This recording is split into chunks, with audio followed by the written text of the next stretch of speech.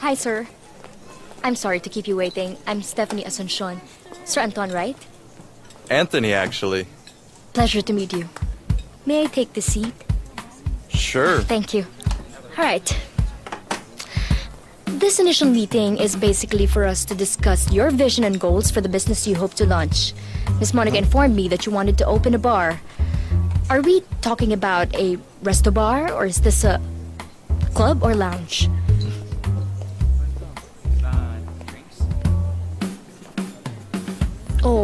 Yeah, I'm sorry, I'm sorry. I was talking my head off. I forgot that English is not your first language.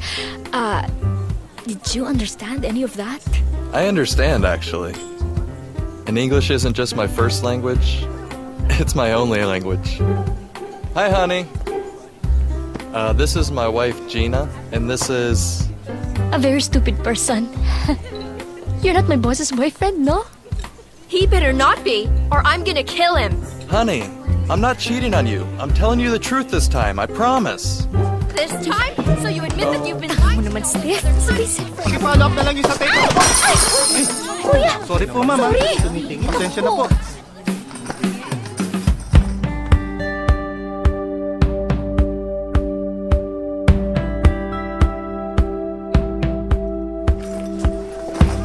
Kuya! Sandali.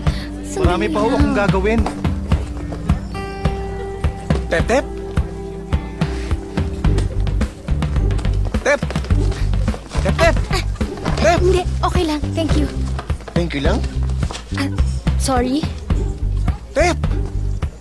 Si Tonyo to. Ah, oo. Tonyo. Hello. Kamusta ka na? Hello. Hindi, I'm good. Great, even. Anong ginagawa mo dito? Well, uh, it was nice bumping into you, uh, but I have to go because I have a client who's waiting for me. Eh. Sige, ah. Tep, Ah, sandali lang. yeah. Magkwentuhan muna tayo.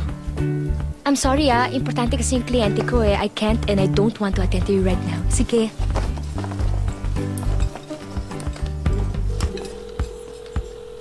Hello? Hello, Sir Anton. Good afternoon. Tep? Ikaw ba yan? To... Tonyo.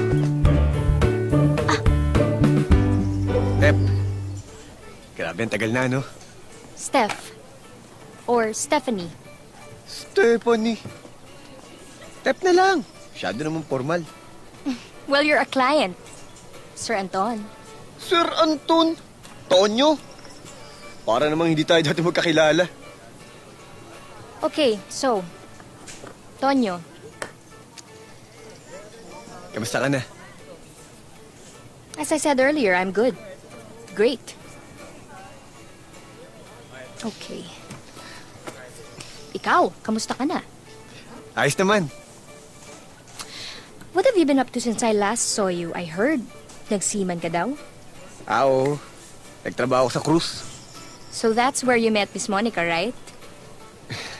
Good for you. Tep, kung naiilang ka, sabihin mo na sa akin, ha? Kakausapin ko na si Monica na humanap ng ibang tao para tulungan ako. Of course not. There's no reason for me to feel uncomfortable. No ka ba? Don't worry, Tonyo. Relax ka lang. Siya nga pala, gusto ko sanang humingi sa'yo ng sorry. Sorry? Dun sa nangyari dati. Anong nangyari nun? What do you mean? Nung... Nung... Nung, nung tayo. Tayo? Meron bang tayo?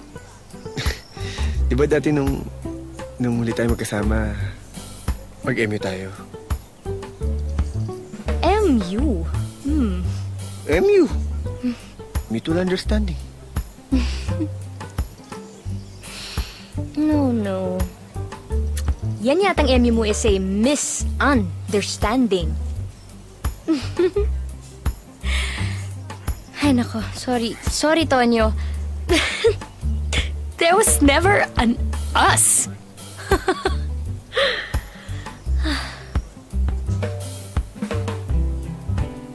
Look, if this makes you feel uncomfortable, I can just talk to Miss Monica about this Hindi oh. and tell Ayos her. lang ano ka ba?